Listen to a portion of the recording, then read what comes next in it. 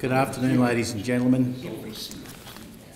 I'd like to thank you all for taking the time to come and talk to us today or come and listen to us today. For those who have travelled great distances, I thank you. And for our members of parliament who are here, I also thank them for their time. And for their staffers being here, I thank them for their coming as well. I'd also like to acknowledge Dale Webster, whose news service, the, the Regional, has documented the true extent of bank closures across Australia. Dale's reporting on this issue has won her the 2022 Andrew, sorry, June Andrews Award for freelance journalism and the Press, Melbourne Press Club's 2021 Quill Award for rural and regional journalism. And we really do thank her for coming today and we thank her for the outstanding work she's done.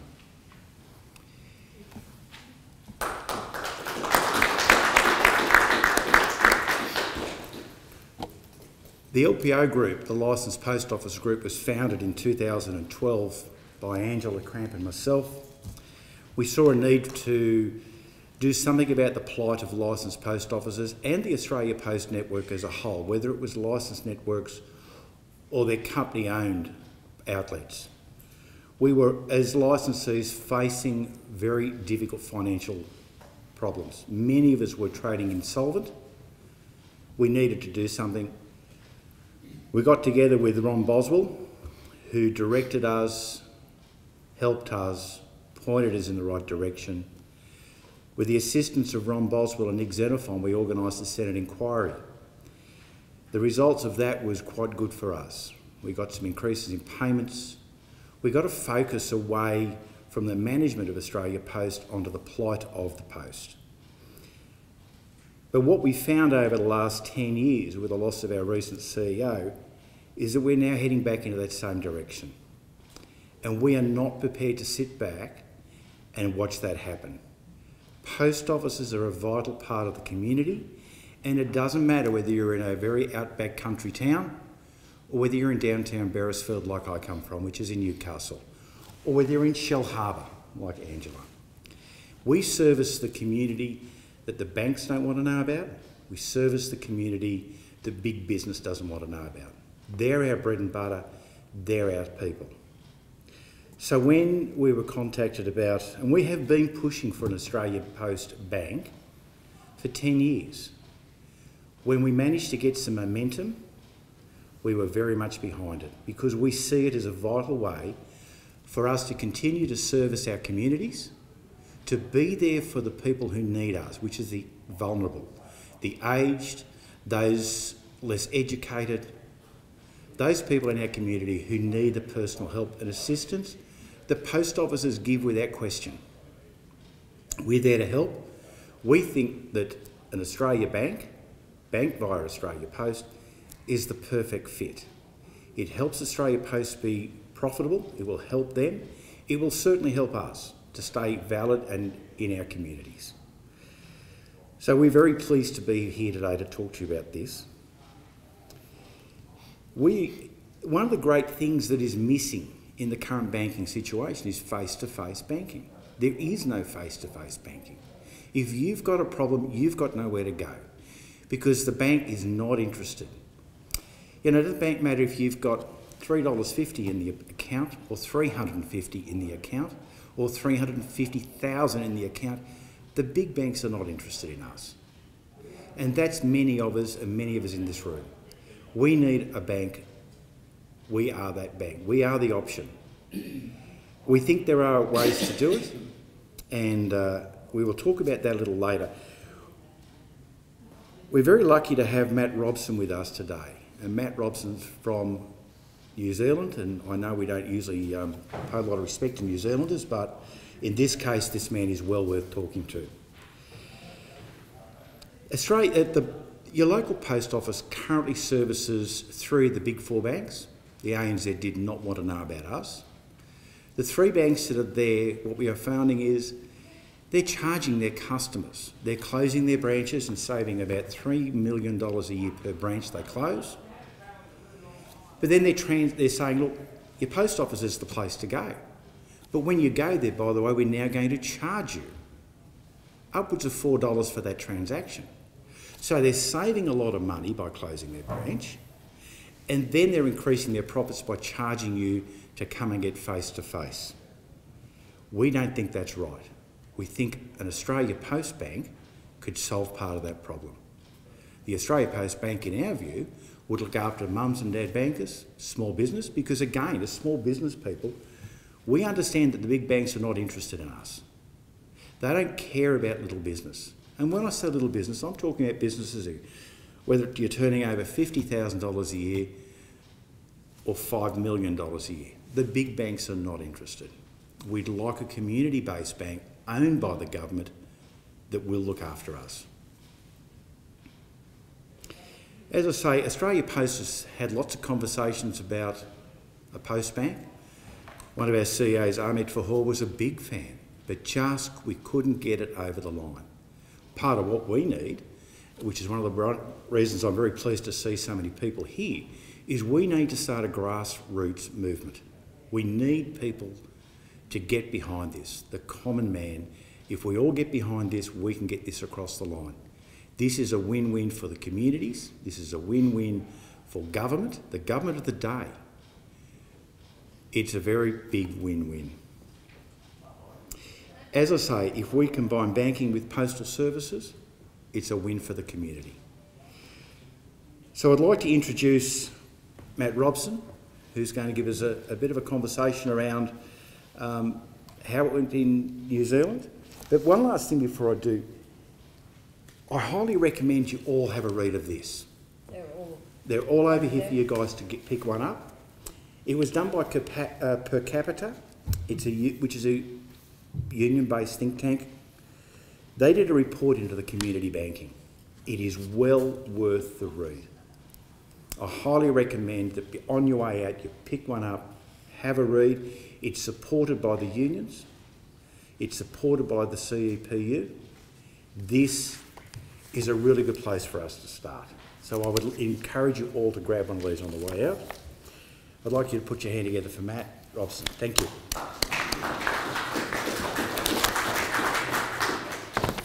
Well, thank you, uh, Andrew.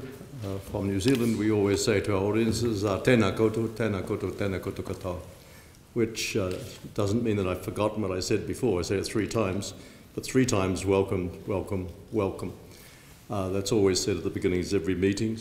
I particularly want to thank uh, Andrew uh, as the chair and as the chair of the uh, licensed post office group. And I've met uh, Angela. I'm not quite sure of the division of labour, but I actually think Angela's pretty much the boss, but that's good um, in these days. And I've been taken around by them and I'm very impressed with what they do. It's so good. I was going to point to Bob Katter, but I think he must have just gone. Uh, but to have a senator, so a senator on this side, a member of parliament on that side. Right, and we had it. So to come to an important meeting like this and people in the audience and with the wonders of technology that it will spread throughout the land uh, and the most important issue you're discussing, because what you're actually discussing is the development of Australia, or the continued development, and the needs of your own people. Um, I wanted to open by saying to my fellow Australians, because I was born in Brisbane and grew up with the Commonwealth Bank of Australia, the pride of my mother and father that this had been developed. They used to talk about Ben Chifley, uh, Ted Theodore in Queensland, and so it was part of my DNA. And when I was young and uh, grew up then uh, from my teenage years in New Zealand, and later on became a cabinet minister, I drew on that tradition as well across both countries. And I was given the honour in my cabinet, or the cabinet of Helen Clark, to be the Minister of Prisons, I was told, because being an Australian, it was probably a very fitting thing to make me the Minister of Prisons. I wasn't quite sure whether they were insulting me and I would explain that I had been sent across the Tasman like uh, Superman from Krypton to raise the level of New Zealanders' political awareness. I found that New Zealanders did have a sense of humour and encouraged me. But when I was invited to speak, I wondered at the wisdom of a New Zealander coming to tell Australians uh, perhaps uh, what's a good idea politically. But we share a common tradition, little known, is that the first uh, reform, really reforming government New Zealand in 1935, which was a Labour government during the Depression, and introduced the welfare state and uh, many of the uh, developments of publicly owned industries, uh, progressive taxation. The Prime Minister was Australian, Mickey Savage.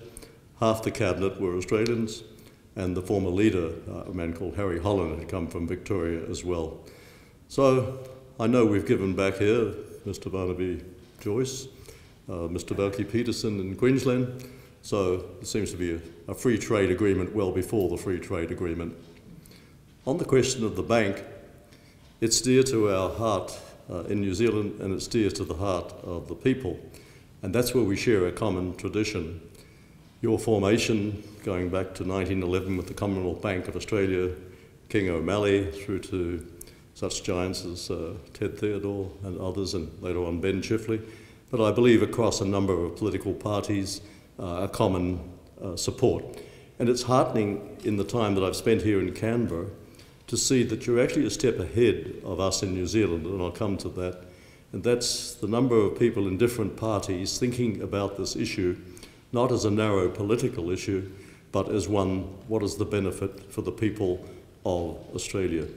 And our forebears in this, in all parties, recognised that unrestrained financial power was a danger to countries because you become a hostage to that unregulated financial power.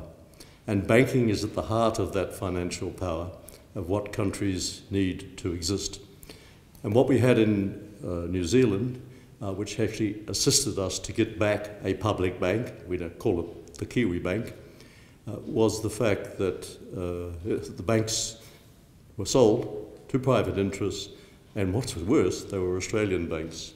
And I'm sorry to say that I even joined in the little bit of nudging to get people to say, how dare we be owned by Australian banks? Um, I felt a little bit ashamed in my heart at doing this bit of jingoism, but it reflected the fact that New Zealanders recognised that they, as a people, were not in control of their future.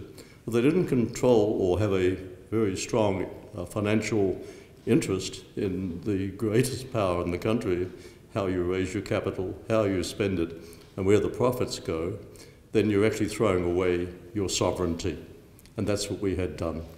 I won't go into the long history of it, but in the 80s, uh, the, it was a Labour government, uh, ironically enough, that took the people's assets built up over generations of toil of the New Zealand people and put into public hands for public benefit and sold them for a song.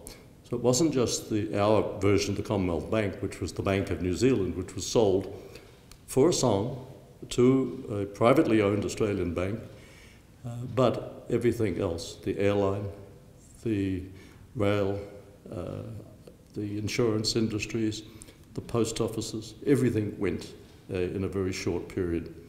And it's taken now, from that period, the 80s, 40 years to get back to a stage where the recognition that wealth is created collectively and should be used for collective good.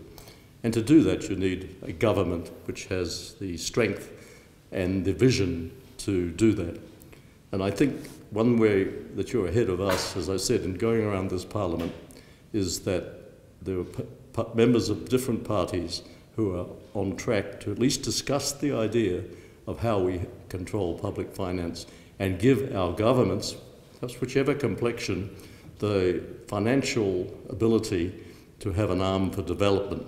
And I'll come back to that. Why are you ahead of us in Australia?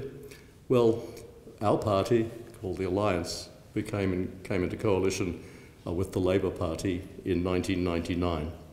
And just to give you some orientation, because I don't know how much people here are able to follow New Zealand politics, but in Australian terms, uh, we had been part of the Labor Party family. Uh, then we had a divorce over the question of the sale of public assets. But we weren't the equivalent of the DLP. Uh, we were the other side. We were, we were, the we were to the left of the Labor Party on these issues. But we came together again after 10 years of separation in a coalition government in 1999. But we were the only party in the party, in the parliament, that would support the regain of a public bank. So that's why I say we're different from the stage that you've reached uh, in Australia from what I, can, what I can see. And why did the other parties not support it? Well, from the, the most conservative party, the, the National Party, they were committed to the mantra of private good, public bad, private good, public bad. They just, they just believed it. In the other parties, uh, the party called New Zealand First, uh, the Green Party, it was more of a, I would say, without wanting to insult people who were colleagues in Parliament, that was a sort of a pettiness that because it was the, my party, the Alliance, which had the idea, that you opposed it because of that. And when you've got a big question, which is the development of the country, it doesn't actually belong to uh, one party, it belongs to the country. So how did, how did we do this? Well, the public was ahead of politicians on the question of having a public bank. The New Zealand public had suffered closures of branches, particularly felt in the rural areas.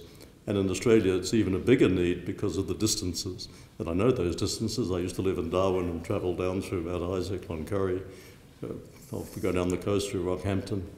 And you even have a bigger need to service through regional areas. But New Zealand has the same, and people found that their branches were closed. Not only the banks, but the post office as well. That's an important connection because we based the new bank on the post office structure. But they also found that the banks were, well, I was going to use the word impolite, lying to them, cheating them, and you've had a Royal Commission on this, ahead of us on that uh, with the fees. There was a cartel of the banks once the Bank of New Zealand was sold, which was the state bank. And they just put the fees up when they felt like a charge for different things, worked together on this, and there was no competition to them. So the public were fed up with this situation. We were a small party, we had uh, 12 members of parliament, Labour had 50. Um, and the Labour Party leadership in cabinet, our colleagues, uh, weren't for the brave step of going back to a bank. We said to them in cabinet, this is a demand of the people, it's not just our party. They still didn't listen.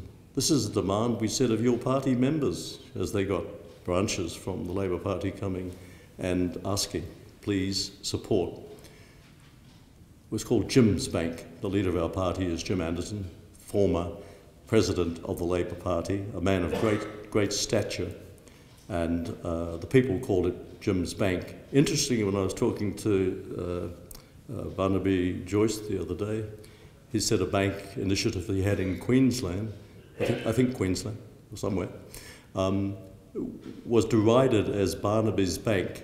I said to him, well, in New Zealand they tried the same with Jim's Bank, but it became a popular term. Everybody was saying, we want Jim's Bank, we want Jim's Bank. Didn't even have a name when it was first started. It was called Jim's Bank. I'm going to join up to Jim's Bank. So what was a term of derision became a, a, a strength. It was also called the People's Bank, which has a ring to it. So the public was for it, and although our party was small, we had the support of the people. It's quite a powerful thing to have the support of the people. And when it came down to it, and to argue, we also had the support of another powerful institution, the Post Office Bank, the Post Office itself. Not all of the board, now this is where the politics come in, and I leave that for you to work out.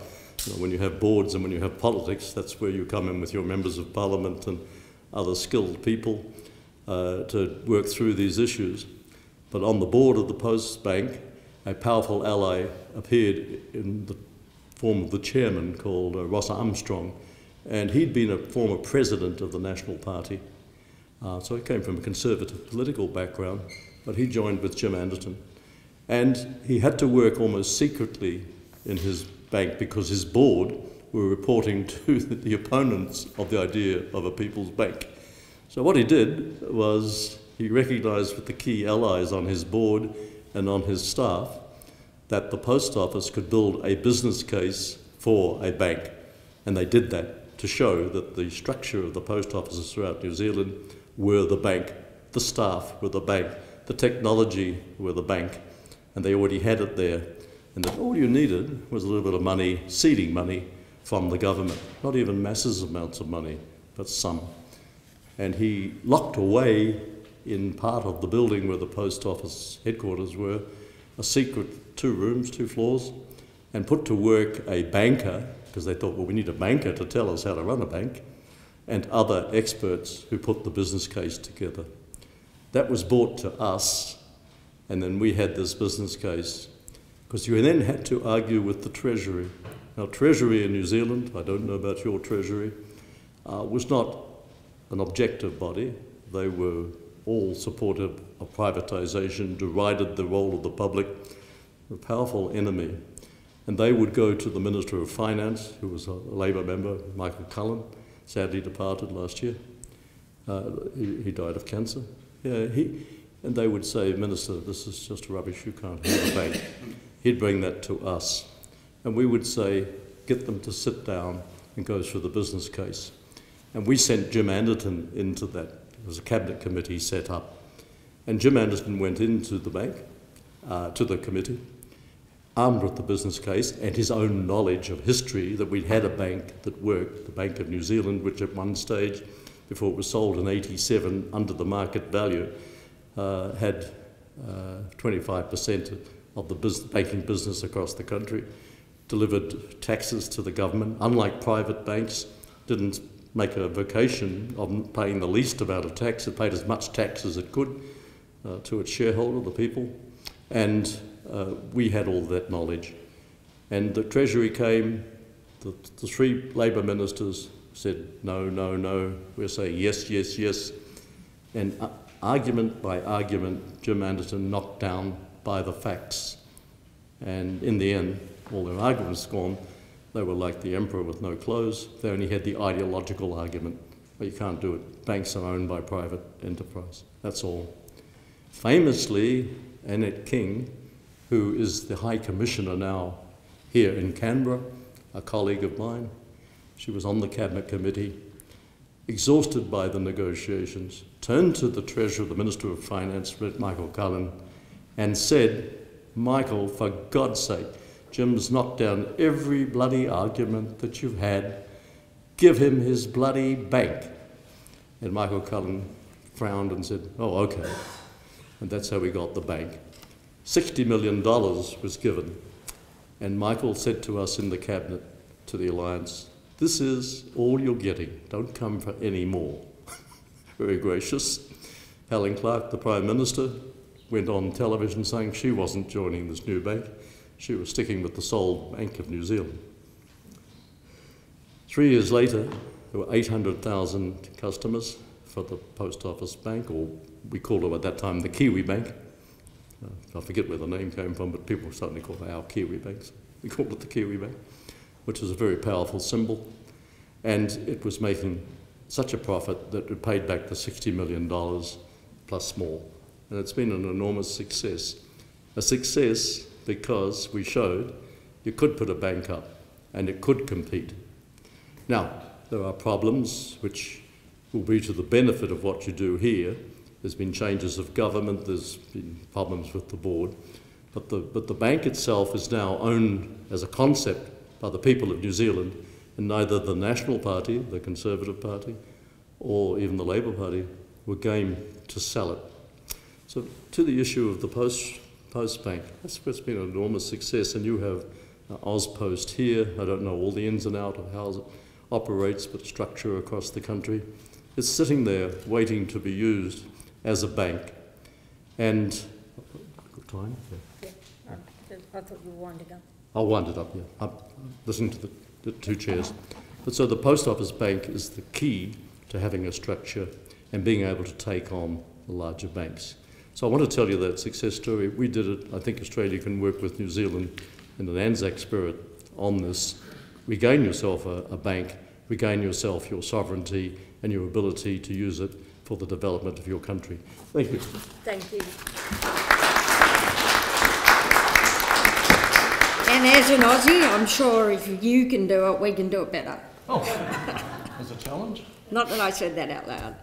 Thank you for your words. Um, we have been working with this cast of politicians for many years to try and do something about Australia Post to ensure its survival for another 200 years. Bob Katter is a champion.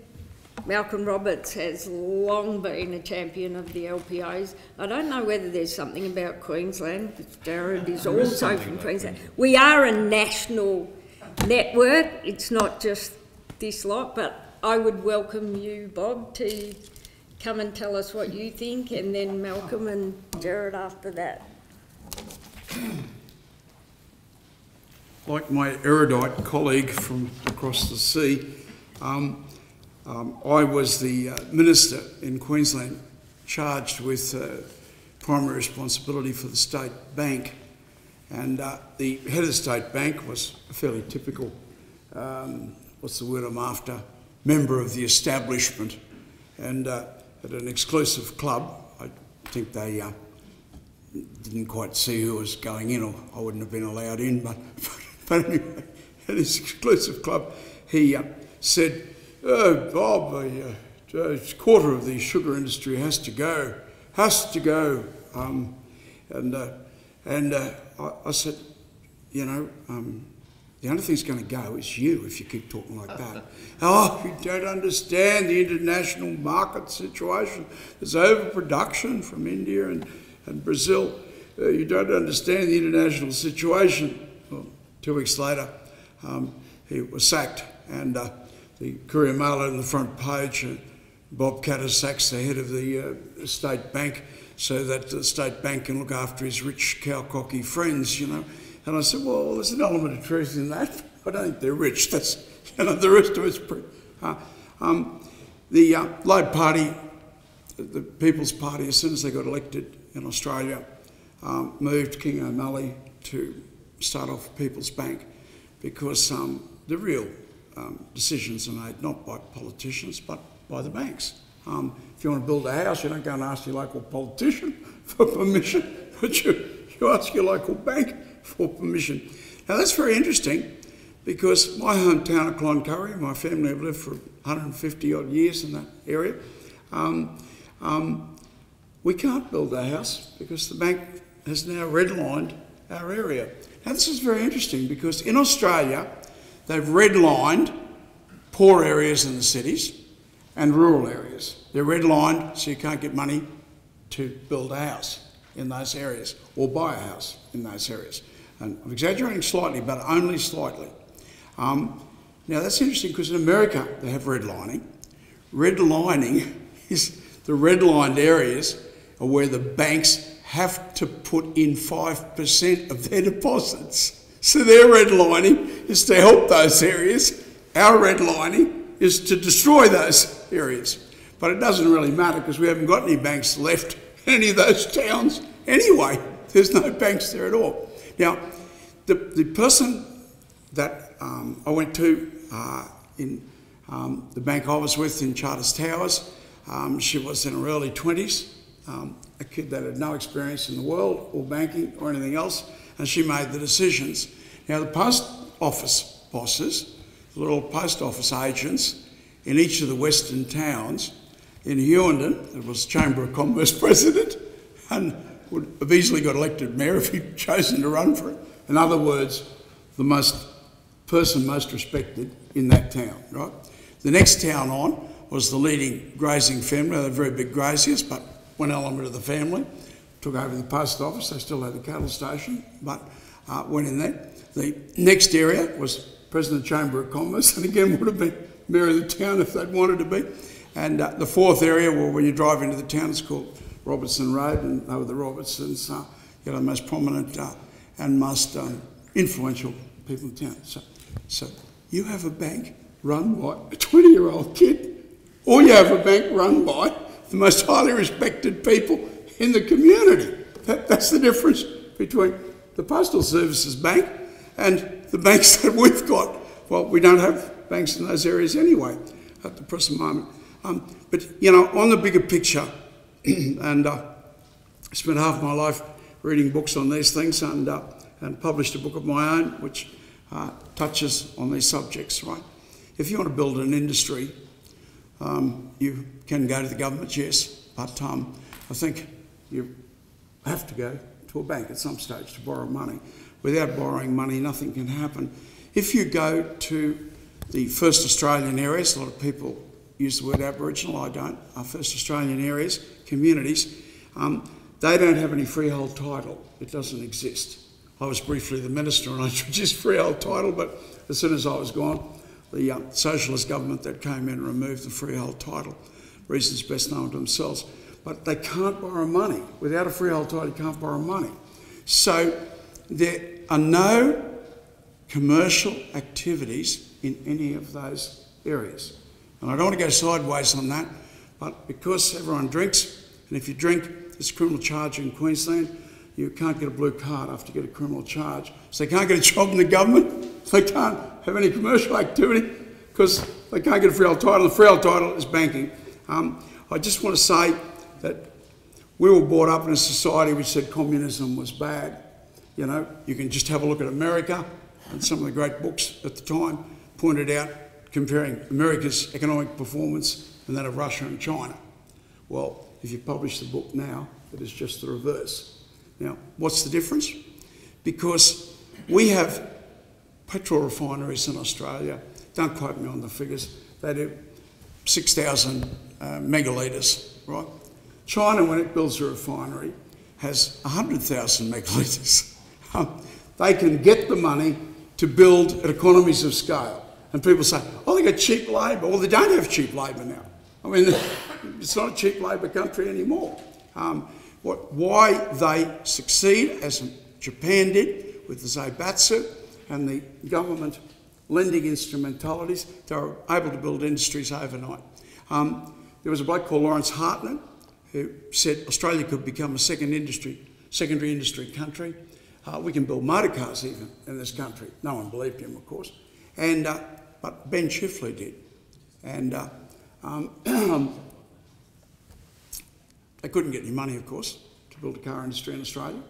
But uh, Chifley rang up the Commonwealth Bank and provided the three million pounds needed to establish the motor car industry.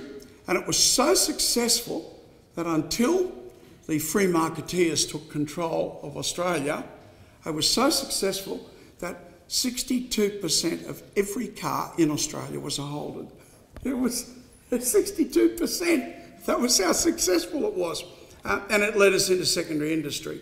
Um, so uh, I speak with authority because I had the state bank in Queensland. The Australia was saved from the depression by the sugar industry, um, matter of public record. And uh, of course, it's carried the economy of Queensland for Queensland's entire history. Coal has joined it now, um, the sugar industry, um, but we are um, one of the biggest, three biggest exporting nations in the world in sugar. Um, the, the, head of the industry said 25% of the industry had to go, and uh, I showed him the graphs of sugar, cattle, grain. They go up, they go down. You do the same with mining. You know, they're cyclical, right? So we're in a down cycle. Um, what, you're going to close the industry down because we're in a down cycle. Going to look pretty stupid when we hit an up cycle. So anyway, he was gone within two weeks.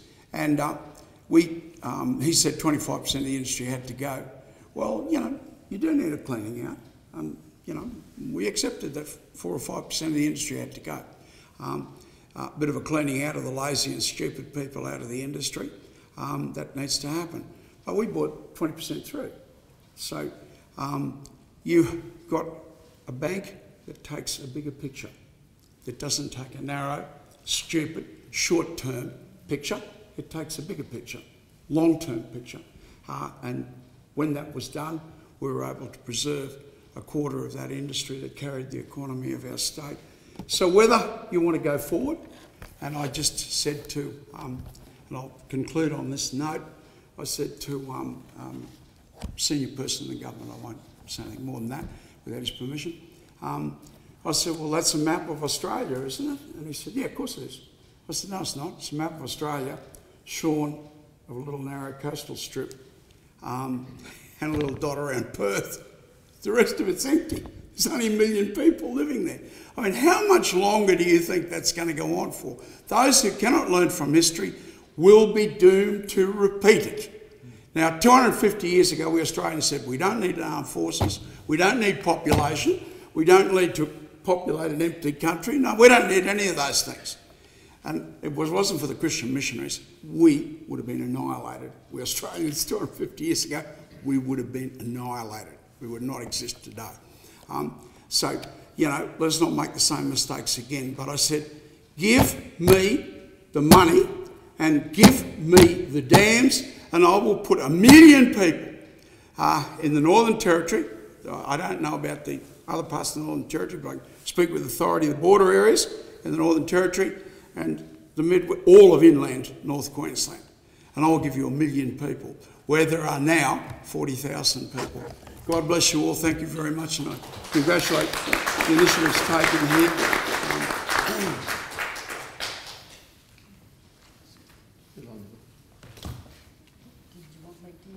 No, that's fine. My, name is Senator Malcolm Roberts. I represent the people of Queensland. And I want to tell you just how excited I am to be here. This is wonderful, wonderful uh, presentation. Thank you so much, Matt. It is a really wonderful initiative because I'm going to talk just very briefly about some, some notes I made while Matt was talking.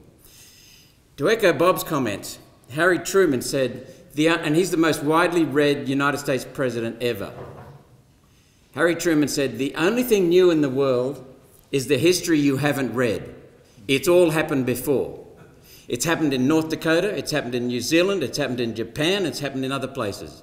And I want to thank, first of all, Angela Cramp. I haven't met Andrew before. Comes from a decent place. I've been in Beresfield, I've lived near there. Um, I want to thank Robbie, Robbie Barwick, and I want to thank the Citizens Electoral Council. It's not the in thing to do to thank the CEC, but I want to thank them. I want to acknowledge them because they've done marvellous work over many, many years. And they, we would be far worse off in this country if the Citizens Electoral Council and the Citizens Party had not done their work. So please thank Craig Isherwood and the others in the Citizens Electoral. I think it's, it's really important to be proud of people that do the job for the country rather than hide because some people, because they're doing so well that they're painted as villains when they're not. So it's really important to stand up for them.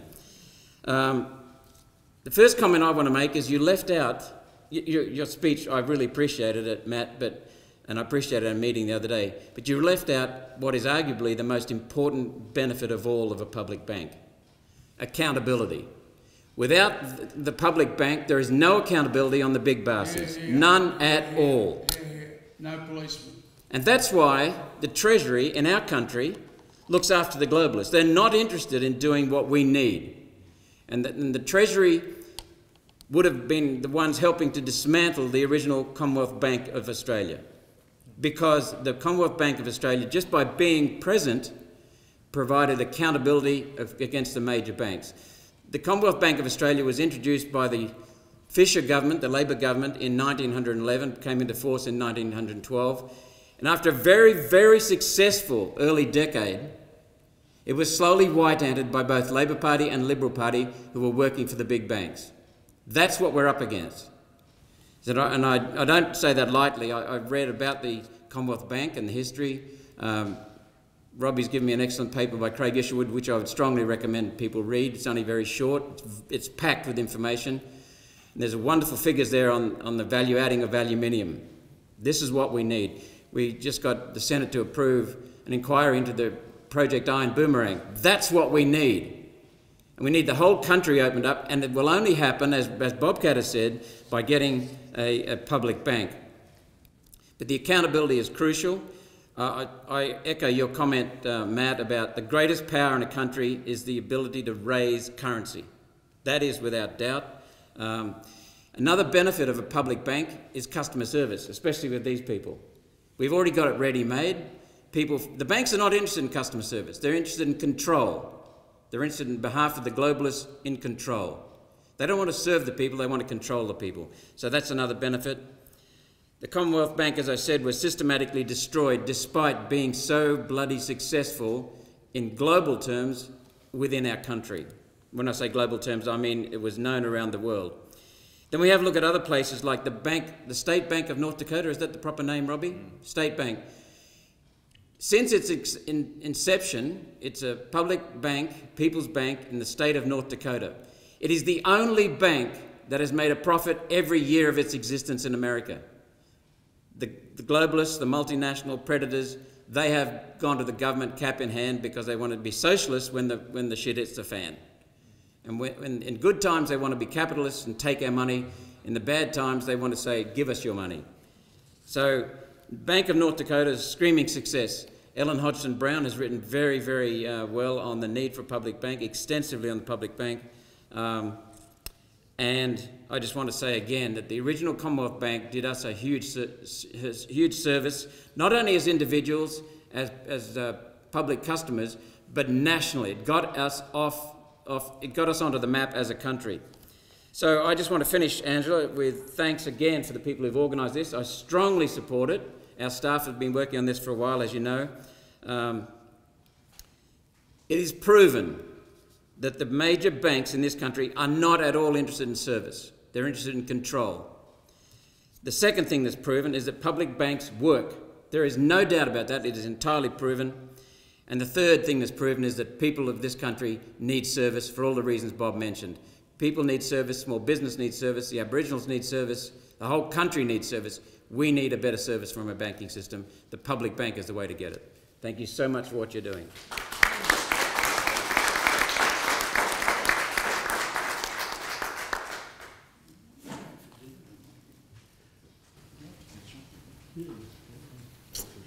Uh, hi guys, it's great to be here today and uh, can I thank Angela and Robbie and the guys for putting this uh, event on today.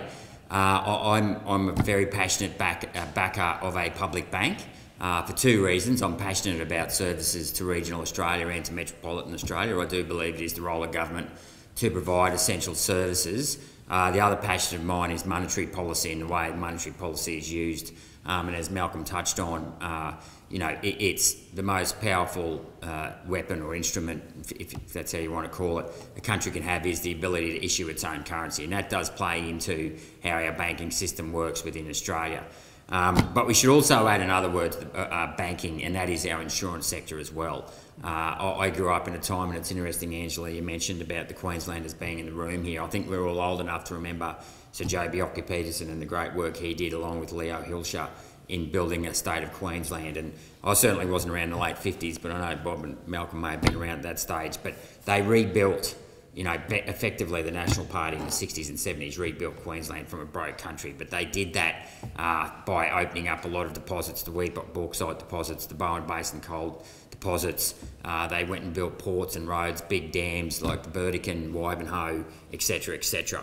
Um, and interestingly enough, Leo Hielscher actually had to borrow that money, and he borrowed when he opened up a lot of these deposits yeah, yeah, and, the railway. Yeah, he actually borrowed at eight percent um, and repaid both the interest and principal within 10 years. So it just goes so 180% return in 10 years. It just goes to show what you can do if you use your money appropriately and you're prepared to invest in infrastructure. Uh, but back to, but the other, you know, i got off, off track there, but I just want to talk about the importance of having a, a government-owned insurance uh, operation as well. Uh, many of the state government insurance offices were sold uh, throughout the late 80s and early 90s, and we've now got a really uh, dysfunctional insurance market here in Australia where it's just about impossible for small business uh, and many businesses to get insurance. And I really think that we need, you know, with the postal bank, an insurance bank, well, you know, an insurance office uh, that, that works in tandem with the insurance bank, and then we wrap that in as well with not just a retail bank, but obviously business banking as well. Um, so yeah, and, and, I think the other thing too, it, it's really important to note is that I, I, don't know that we would have had that banking royal commission in 2016 or whenever it was had we had the CBA remained in in public hands because the CBA, a, public bank, would have kept a brake on on the nefarious activities of the private banks and, and, and the exploitation that they carried on with. Mind you, um, superannuation coming in didn't help help a lot either. But I, I'm a big believer in a public-private uh, um, operations in many fields, including education and health, because what you'll get is you'll get the private sector will always be driving efficiency, um, but then the public sector, sector will always keep a brake on the private sector if they start getting um, to, you know, ex exploiting, uh, you know, people too much. They can always fall back and have the public sector as a safety net. And I think that should apply to banking and insurance as well. Um, and, and we know it works because the Commonwealth Bank, you know, was a successful enterprise for what, 60 or 70 years before it was privatised. And ironically enough, now it makes more, I think, close to $10 billion a year. I think the total sale proceeds of the CBA over its three tranches was about $8 billion. Uh, and just imagine if we had $10 billion coming into uh, the government's coffers right now and how valuable uh, a contribution that would be in helping pay off, uh, you know, the government's debt. Um, so that's that's obviously the, the retail side of things, but I, you know, I just want to touch on briefly, you know, the, the monetary policy side of things in our wholesale uh, funding of, of governments in this country. Uh, the first person to issue a currency in this country was, of course, Lachlan Macquarie, as many of you, I'm sure, would be aware of, and he issued the Holy Dollar, um, which was used to fund, you know, the, building the Sydney Hospital, the, the barracks there in Macquarie Street today. But essentially, you know, it, it's very simple. If you want to build a dam for a billion dollars, if you fund that dam with foreign debt, the first billion dollars you make, you have to repay in foreign debt. And given that it might take, you know, infrastructure's long tail, it's patient capital, it might take 25 years to repay that debt at, let's say, 4%, so let's say another 100% interest. It's another, another billion dollars gone offshore, basically because we wouldn't use our own printing press to fund the um, construction of what I call sovereign uh, um, backed infrastructure, which is critical if we're going to remain a sovereign nation. So we, we really need to have a look at uh, the way we go about our monetary policy in this country. Uh, I, I, don't believe that we should be continuing to fund uh, our, our um, living, our standard of living with foreign debt. Uh, we've just, you know, we're hitting, we're close to hitting a trillion dollars in debt with the government, the federal government, uh, and I think many of the state governments have record levels funding of debt as well, and, and that, that is going to be really toxic if interest rates increase as well. Well, they are increasing, it's not an if. Um, and I mean, the RBA to me has just completely lost the plot. I mean, I don't think they should have ever lowered interest rates as low as they did, but they certainly shouldn't be jacking up interest rates as fast as they are now, um, given the asset bubble they created in the first place. It's like literally going to a party um, with three bottles of Bundy and you know three six packs. Uh, in your own car, knowing you're going to drive home, it's only going to end up in tears, right? And, and, it's reckless. It mightn't end up in tears, but it's certainly at the very least reckless. So um, anyway, look, so it's great to be here today, and I'm, I'm more than happy to put my support and, and lobby many of the neoliberals within my party. Uh, you know, and of course, you know that they always seem they can't. You know, what, what I find very frustrating is is that what they don't get is with these monopolies once they're privatised, is that they just get taken over by rent-seeking parasites, and that's what they are. You know, our energy market has basically been destroyed by rent-seeking parasites. We saw in the GFC, Wayne Swan banned short selling of the of the private banks.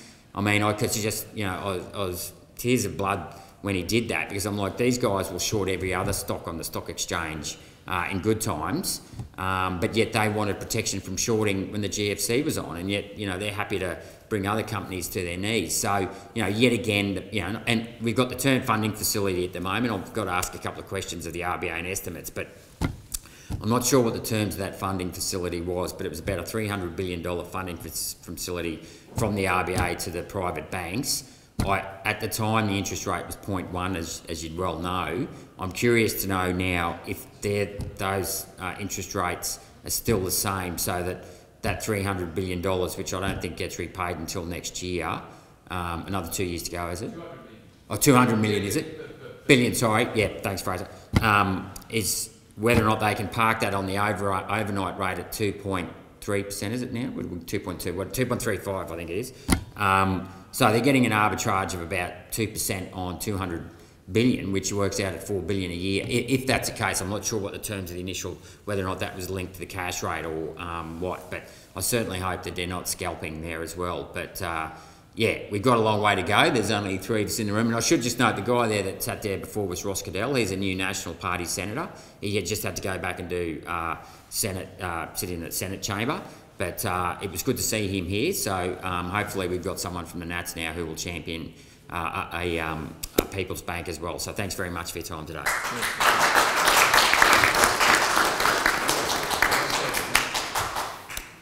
Well, as post office people, we are delighted to hear you all support the idea of a postal bank. Like the government doesn't seem to be too opposed to it, so we would like all you guys to work out how it works. We have the network, we're ready for the work. bring it on. Um, has anybody got any questions that you would like to ask anyone in the room? Please help yourself to all the information over there. The unions have apologised, they are deep in conversations with Australia Post this week, so we're unable to attend. But the unions fully support the idea of a postal bank for Australia Post. Their position is it's a foregone conclusion, it's just a matter of time. So hopefully, with this movement from Parliament, which is where we have to get this done, we will see a People's Bank in the not too distant future. How about we get a time frame from you guys? Well, well, I, I think Matt said the key thing. It, it's a people's bank, and the, the, the power comes from the people. We need to rally our crowds. You know, the COVID mismanagement uh, has been absolutely horrendous. It's been inhuman for two and a half, going on three years. Um, the solution to that is going to come partly from Parliament, but mostly from the people and from the courts. It's going to require a three-pronged attack. And the, getting a, a, a people's bank up in Australia is going to be similar. It's going to be a little bit Parliament, most of it from the people. So we've got to get that, that in, in place. That's And, and we have post offices around the country talking to millions of people each week. It will be a hot topic in every community. So speak to your community, speak to your local council, and talk to whoever you can. Apply pressure wherever you can. Let's get this done for Australia so we own our country again. Thank you all for The- attending. The important thing, I think, is everyone in this room, do it for yourself and your family, not just the country. Because it is going to be enormously beneficial for every single person other than the bank executives in this country. Yes.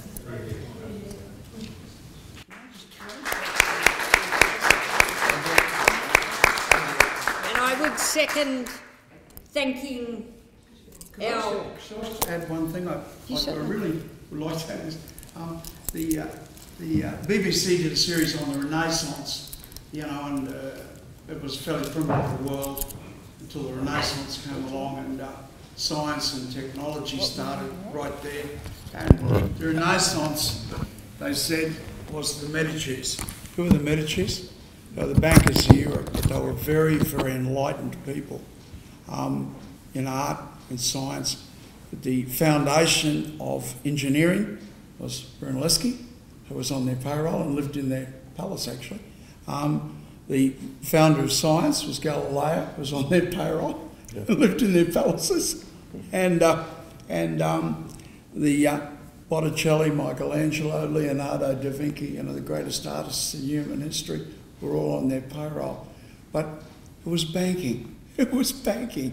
And if you get enlightened people, and the mob may not always be enlightened, but as one bloke said to me, in the end, the mob gets it right. And that's a pretty good call. So we're the mob. Thank you very much, Angela.